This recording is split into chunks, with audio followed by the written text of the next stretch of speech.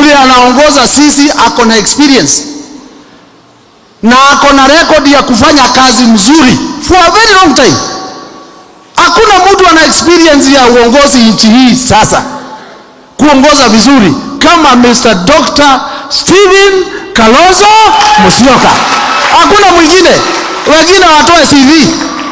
Kalonzo amekuwa minister zaidi ya mara tano, different ministries, akachaguliwa zaidi ya mara tano nchi hii, mtu akiamini na serikali kesho akiamulisha hiyo komiti iwe formed, wanajua vile watafanya hapo kotini dakika moja hiyo tunakuwa na IBC. Juzi tuliona wakitaka kutoa Gachagua, ile staili walitumia haraka haraka, wakamobilize serikali yote, ndio hiyo hata kotini Gachagua akaenda nyumbani. Na mkumbuke Gachagua ile kazi alifanyia bwana Ruto. Kwa hivyo mkiniona mimi nilitengwa na Ruto na tukadanganywa, si hata juzi mumeona vile amefanya Gachagua. Lakini nataka pia watu wetu wajue hivi, watu wa mlima yote kutoka east west na south na watu wagema wote wajue Gachagua ni wa timu yetu, he is one of us. Mtu asifikirie ni timu yetu katikati. Bwana matiani pia ako na sisi, that is the truth. Mheshimiwa ako hapa akiwa anatuongoza. Na sisi wote tunajua hata Eugene tuko naye hapa, natembea tuko naye hapa, mzee wa kazi ambaye ndio mkubwa wa mlima na ndio mkubwa wa hii timu yote, mheshimiwa former president wetu mheshimiwa Uhuru Muigai wa Kenyatta pia ako na sisi,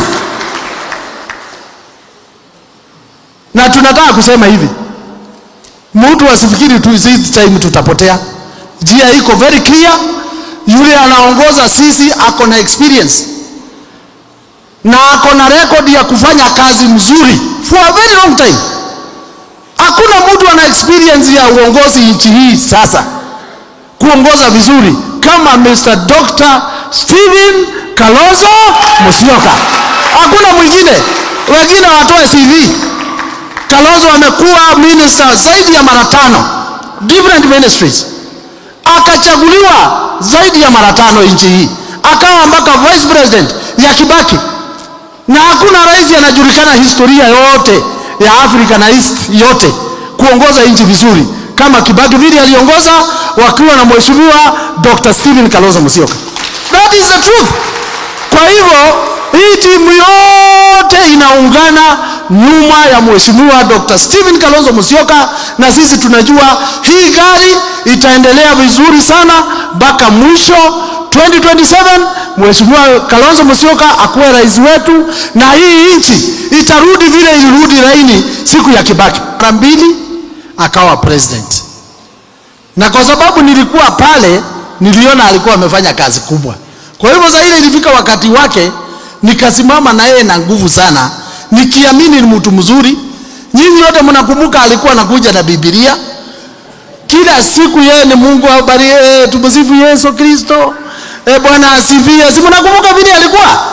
Kila mtu aliamini ni mtu mzuri sana, hata hawa pastors wote na mabishop hawa walidanganywa kama mimi. Hakuna mtu anaweza sema mwingine alikuwa mjinga kumshinda. Kila mtu alidanga kila mtu alidanganywa. Mahaslas wote mkumbuke, walikuwa wameambiwa vile watapata pesa eh, bila kwenda kwa Shylock. Mama mboga ndio huyo alikuwa pia amedanganywa vile yeye mwenyewe atakuwa akipata pesa kwa urahisi bila kwenda hata kwa benki. Watu ya bodaboda mkumbuke sana vile walidanganywa, sio mimi peke yangu. Juzi mumeona amechukua mtu ambaye tunaheshimu sana, tunajua ni shupavu, former prime minister Raila Odinga, akamwambia aende akatafute kiti huko sijui ya Afrika. Sasa huyu mtu ukimwona, mjue sio mchezo kwa uongo, na watu wote wanajua akifungua mdomo hivi, ile kitu anataka kuongea ni uongo, ama si hata nyinyi mnajua, na kila mtu, hata makanisa, mabishops wote wamesema hii ni serikali ya uo, uongo, inasema uongo throughout.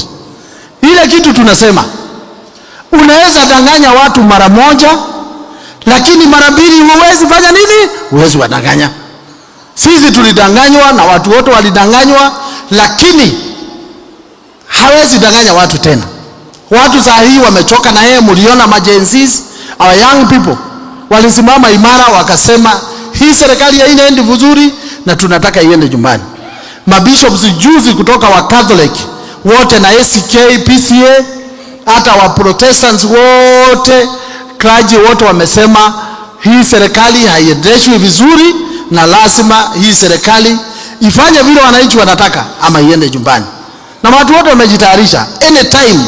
Hata mimi sioni kama itamaliza mpaka 2027.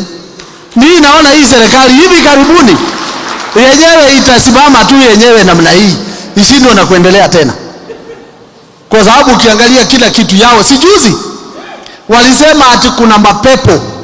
Can you imagine our president anaongea mambo ya mapepo, na sisi tunajua mapepo ile mingi ile ambaye imeharibu nchi hii ya wizi. Walianza na kuiba KICC, walitaka kuiba KICC ikakataa. Ndio hao juzi walikuwa wanataka kuiba airport, hiyo mapepo hiyo. Sasa ni mapepo vile waliakisha moto, alafu tena mambo ingine ikatoka Amerika ikaishia hapo namna hiyo. Tumeona madaktari vile vile, hata saa hii wamekuwa kila wakati ni strike kwa sababu ya kukosa pesa.